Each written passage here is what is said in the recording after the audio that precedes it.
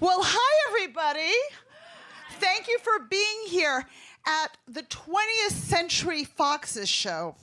You know, they almost called this show uh, Old Cats About to Croak, but they thought it might be offensive. Anyway, my name is Ruth Brandt. The D in my last name is silent, just like my love life. My pronouns are she, her, and exhausted. And before I continue, I just need to address a slight rumor that's been going around the comedy circuit. I am not Lady Gaga's mother. I am also not Barbara Streisand's daughter. And I am definitely not Christine Baranski's sister. What I am, exactly, is a Scorpio type A Jew, originally from New York. Emphasis on the type A. I do identify as determined. So, um, you know, some mothers are concerned that their kids don't love them enough. I have the opposite situation. My kids love me too much. I was an empty nester for about six blissful months, and then they all came back. And so I went from being an empty nester to an eternal nester. If I want to have some peace and quiet, I escape my own house to go to Barnes and Nobles where I can sit in a room full of strangers just so I can concentrate and get some work done. My son called me up the other day, Mom, where did you go? Who are you with? When are you coming home? I never ask my kids these questions. Why? Because I know they will always come back. Anyway, I was uh, on a very happy hiatus from dating.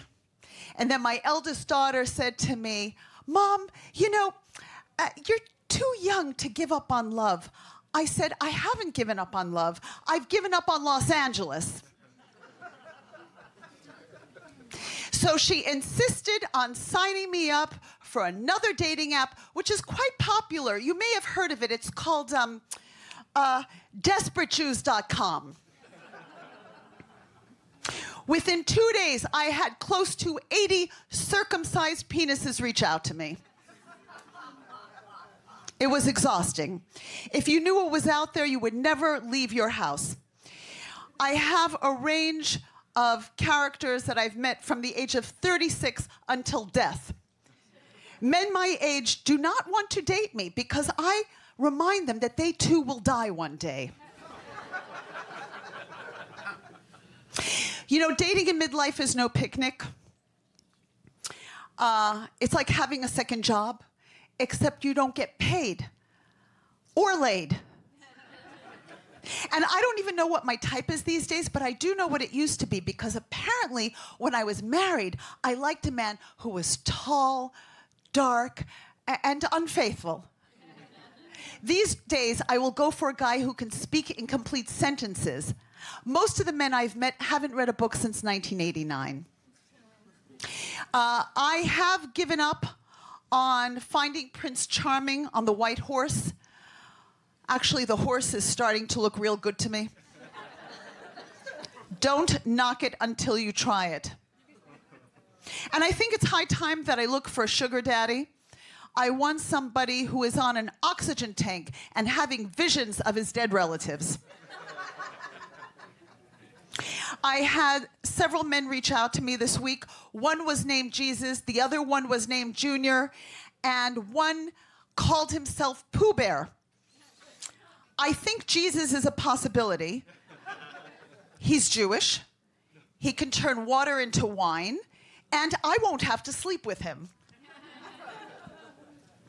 Um, I did have a man who I vibed with, and um, unfortunately, the following day, he sent me a picture of himself in his tight white boxer briefs with the caption, Don't I look good for 61? I replied, You look chilly. And then I blocked him. I've gotten some dick pics since my divorce. I don't want to see that nonsense. If you want to go out with me, send me a picture of a cannoli. That's my aphrodisiac. And if you really want to get me all hot and bothered, send me a photo of a slice of New York City pizza, and I might show you my pepperonis. That's my time. My name is Ruth Brandt.